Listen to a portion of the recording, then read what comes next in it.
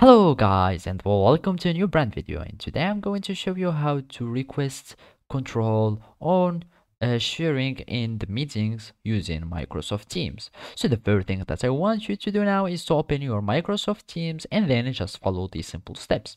So basically to request control you will need to join a meeting and join some uh, sh uh, screen sharing in the meeting. So here in this example, I'm going just to create a meeting because I'm the host for this Teams. So basically, all I need to do is to click on this meet button and I will have uh, my meetings created. So basically, I'm going just to click join now and I'm going to click and the creating uh, the meeting is being created. So basically, I will need to share my screen or share any file anything so uh, I can give or uh, so can people request control. And I'm going to click share. You will need to share a window. So I'm going just to share this window here.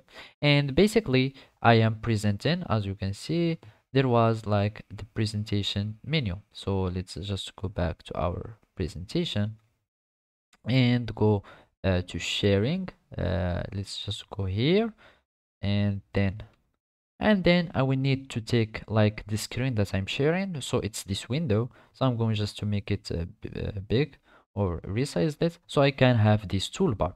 So basically here uh, people will see another button that is uh, request control. It's like the raise or the view react etc they will find a button that is called request control. So basically if you want to request control you will need just to click on it. And here i'm going to uh, receive as a host. It will receive like uh, the give control uh, notification. And if it approves it will uh, give you control and you will be able to edit its presentation.